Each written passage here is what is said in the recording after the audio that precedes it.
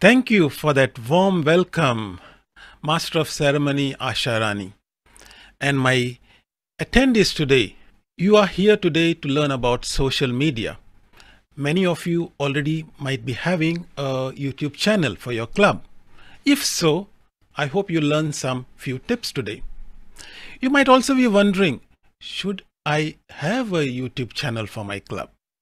And if you are in that bracket, I hope I can answer that question to you within the 15 minutes that have been allocated to me.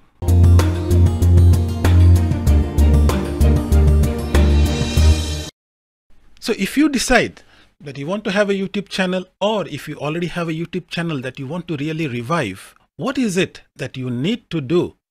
I have a YouTube video channel called Tech for Toastmasters, but I won't be talking about it because that is mostly focused on training.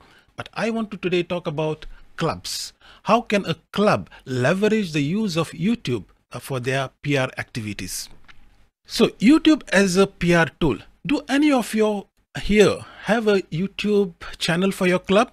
Desert Pioneers, they have a channel. There is 171 subscribers. Looking at the content, what are they posting?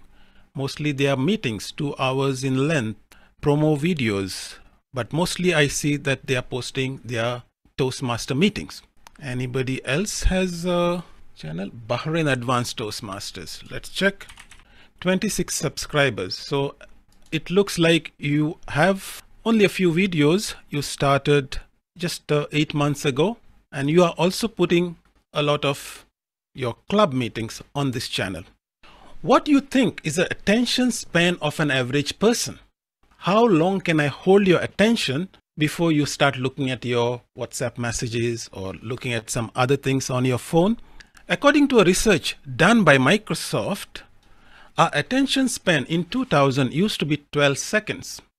But in 2020, that has gone down to 8 seconds. That means more than 8 seconds, if I want to grab your attention and keep you fixated on what I'm saying, I have to be really, really creative. What about if I was to bring the, the best person, the most inspirational person in the world, let's say Elon Musk, and I put him in a auditorium and you are sitting there. How long you think he should speak before you get bored? I mean, we are talking about top notch here. Research indicates that if you really want to give a professional level speech, then the ideal period is 18 minutes. And that's why if you were to look at any TEDx or TED Talks, you will find that it never exceeds 18 minutes. It, that's the maximum limit that TED allows you to speak.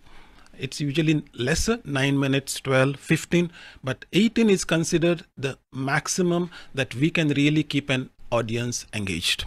So these two variables like 8 seconds and 18 minutes, this is really how long you can engage based on your content before people get uh, bored and move on to something else.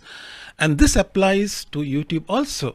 If you don't have something that can grab your attention, the moment you start watching it, you will move on to something else because there are billions of YouTube videos for you to watch.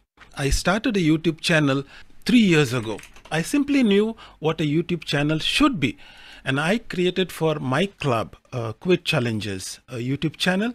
But what I did and what you should do if you really want to leverage YouTube as a channel for your club is, if I can show you some of the examples of the videos that I have, I would go to the meetings and I would place my camera in front of the podium and record the whole meeting, but never upload that entire meeting to the channel I would go through that whole video and find segments that I thought were interesting. Usually those segments would be the speeches, the prepared speeches, because members have really spent time to prepare craft of five to seven minutes and i felt that that would be the ideal time for a youtube video five minutes six minutes beyond that uh, i don't think uh, audience will actually watch that video. But then also I started extracting certain things like for example, a grammarian role. I would just take out that grammarian role and post that two minutes or three minutes. And those are the videos that really have the views So that is the way if you want to start building your YouTube channel. Uh, and now it's very easy, you know. Now you don't have to record, you don't have to take a camera, you don't have to worry about audio.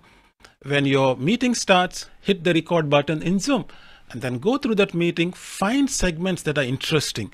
For example, from this meeting, I found this table topics interesting. It's only two minutes. And then upload that. Or maybe a speech upload that. So that way, people can find what your club is doing without having to go through a two hour video.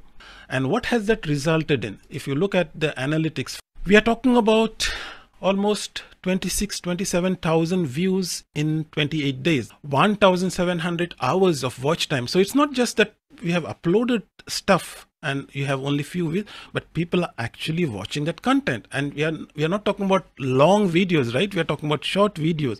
So people are actually watching it. Subscribers have grown by 100 in the last one month. So that is the power of youtube. What it does is first of all it gives you the ability to engage people who are not uh, toastmasters to understand what a toastmaster club does and perhaps find your club and more importantly, as I said, it shows you the growth of your members. So if you start posting their speeches, of course, with their consent, they themselves will see the growth that they have done from the time they gave icebreaker to the time that they have given their 10th speech or 11th speech. So if you want to do something like this, I have a few recommendations for you. First of all, when you create this YouTube channel, make sure you use a dedicated club ID. Don't create a YouTube channel from a member because when that member leaves, your YouTube channel goes along with him. Create a team so that two or three people are part of this team because YouTube creation is not so easy. You know, it requires skills in editing and skills in um, technology. So create a team that will help you to build your club. Make sure that everyone is aware of this uh, ID so that when the new team comes on board, you don't lose the ID, you don't lose your YouTube channel. The first thing you have to do is once you create your YouTube channel, immediately go and verify your account. There is an option in the YouTube, it says verify your account where you have to give your phone number. And once you verify, then you're able to upload longer videos or use it for streaming. So these are the four things that you should do. Once you create the channel, what is the content that you should be posting? First of all, it can be a mixture of long and short videos. Mostly your videos should be short, but of course, once in a while you can upload an entire workshop, maybe entire meeting for some reference purpose. But for the content that needs to be engaging, find interesting aspects in your video, edit it out, give some title to it, and then upload it to the channel. And that brings me to the title itself. Whenever you upload something, come up with a creative title. Just don't say meeting number 203 or meeting number 4, whatever, or speech number so and so. Come up with a title that is attractive and a thumbnail that reflects what is inside that video because these are the two elements that uh, that people see when they search videos and that makes them click to find what is this interesting thing we are talking about. Title and thumbnail are the most critical aspects of your YouTube video. Tags are very important. When you create a video, uh, give as many tags that reflect what is inside it. Public, speaking, confidence, uh, leadership, you know, supportive. These are the tags. Once you put them, anybody who's searching for public speaking tips, boom, your video will be there for them to view.